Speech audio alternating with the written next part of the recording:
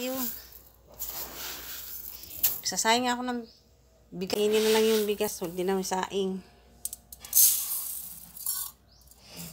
Isa't kalahati. Dalawat kalahati. Ayan. Saing. Pinanood ko yan. Oo, pinanood ko yung sinirong. Nagbugas ako ng bigas. Saing na nga eh.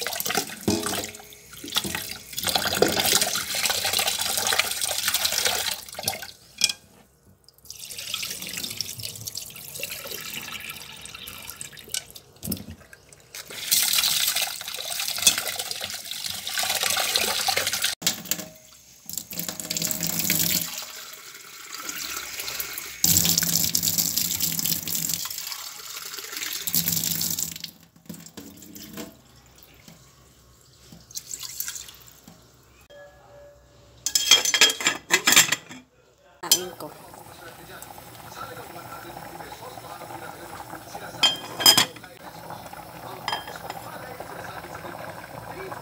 Takman natin.